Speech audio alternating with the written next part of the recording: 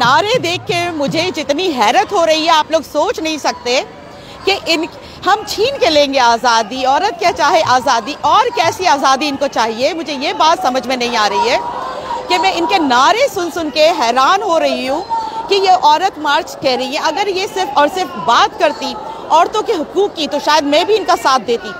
और सबके सब तैयार हैं। डांस चल रहा है यहाँ पे, हंगामा हो रहा है। आप एक से बढ़कर एक फ़ैशन शो वाला स्टाइल देख लें, कपड़े देख लें, इन लोगों के नाच गाना देख लें। और ये बात करती हैं औरत की आज़ादी के, औरत के हकूक़ की, और हम छीन के लेंगे आज़ादी।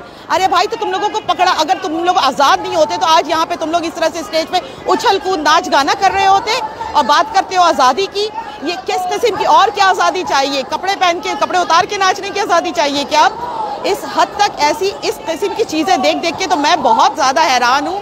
और आ, काश कि मैं आप एक साथ अब इनको भी दिखा सकती। हो सकता है आपको नारे पीछे से सुनाई दे रहे हों लेकिन यहाँ पे शोर इतना है कि मुझे भी काफ़ी तेज़ आवाज़ में रिकॉर्डिंग कर रही करनी पड़ रही है।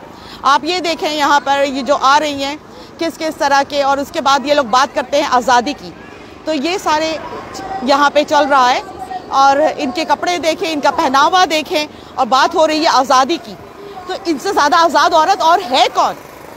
मैं कनाडा में भी रह के इस कस्म की आज़ादी आज़ादी तुम लोगों को इतनी मिली हुई है कि तुम लोगों को ना अपने कपड़ों पहनने का सलीका है।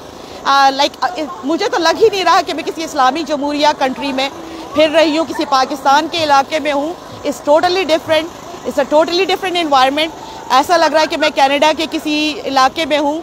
और ये देखें यहाँ पर लाइक ये आज़ादी मार्च में स्मोकिंग भी चल रही है। आप देख सकते हैं इसको। ये ये है लोग और इनकी आजा, इनको आज़ादी चाहिए। और ये बात करते हैं आज़ादी की। तो ये सारी चीज़ें देख के मेरा तो मैं like I have no words I have no words तो किस किस्म के लोग आज़ादी की बातें कर रहे हैं इससे आप अंदाज़ा लगा सकते हैं कि ये किस क्लास किस क्लास से बिलोंग्स करते हैं। और इनका जब जिनका इनका पहनावा, इनके हाथ में सिगरेटें, इनके कपड़े, इनका नाच गाना और उसके बाद भी आज़ादी मांगते हैं तो इनको किस चीज़ की आज़ादी चाहिए? आगे आप लोग अक्लमंद हैं, आप लोग अंदाज़ा लगा सकते हैं। और मैं थोड़ी थोड़ी देर के ऊपर मैं देखती रहूँगी और मैं कितनी चीज़ें रिकॉर्ड कर सकती हूँ। मैं ज़रूर अपलोड करूँगी क्योंकि मैं ख़ास इस चीज़ के लिए यहाँ पर इस मार्च में आई थी देखने के लिए। और जो मैं देखना चाहती थी वो मुझे दिख गया और मैं आप सबको दिखाना भी चाहती हूँ। और आप लोग ज़रूर देखना। इन फिर मिलते हैं। अल्लाह हाफिज़।